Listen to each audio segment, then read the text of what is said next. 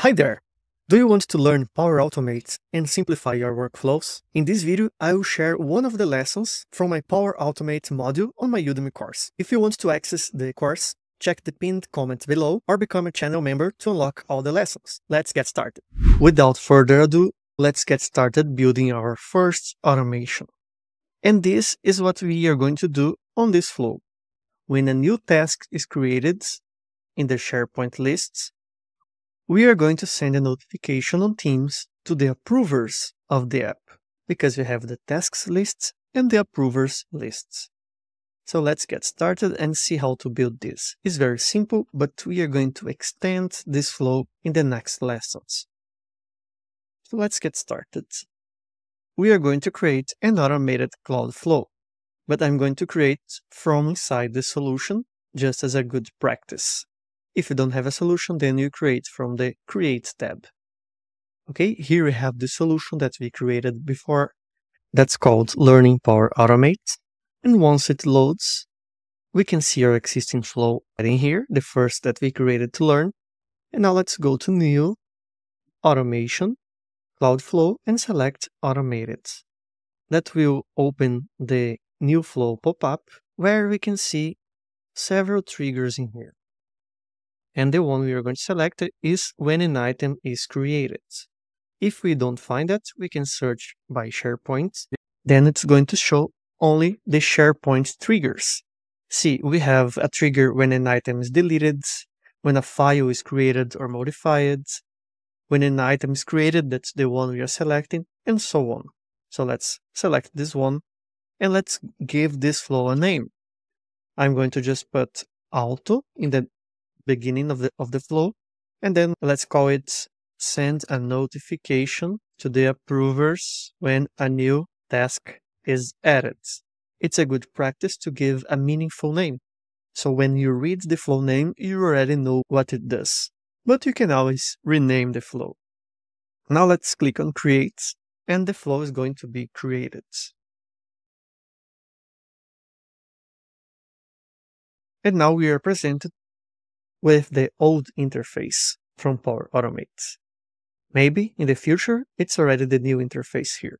If we want to change to the new interface, we need to save, go back, and then reopen the flow.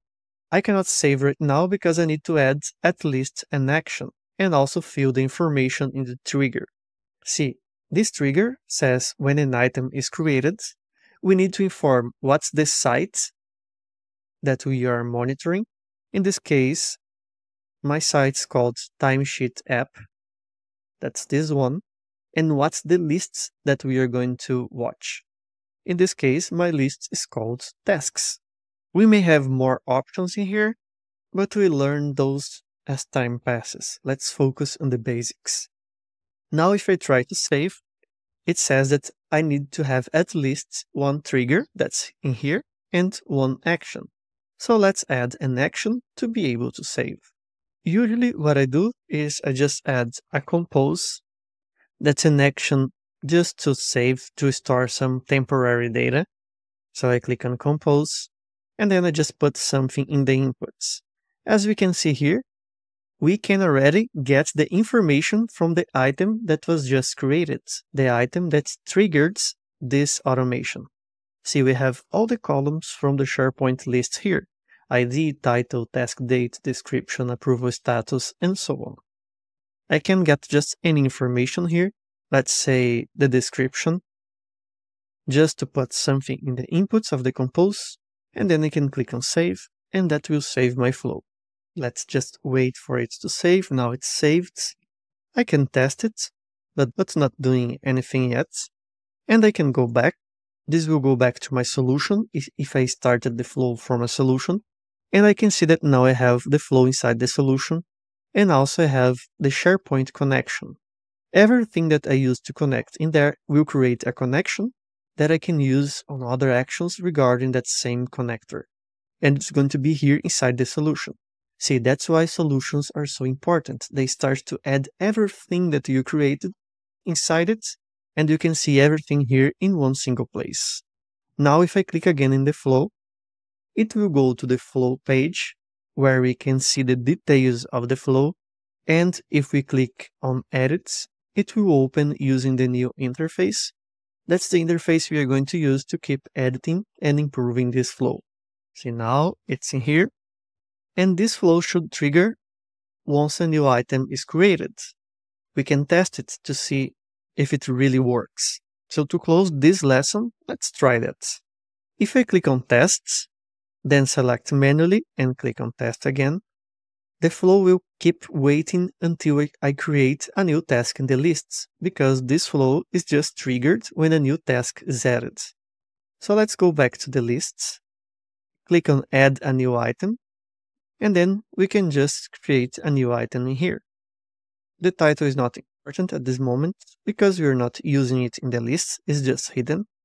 So the task date, I'm going to put any date, worked hours for description, creating an automation in Power Automate. A project ID. Here I need to know what's the project ID. I'll just put any number, let's say one.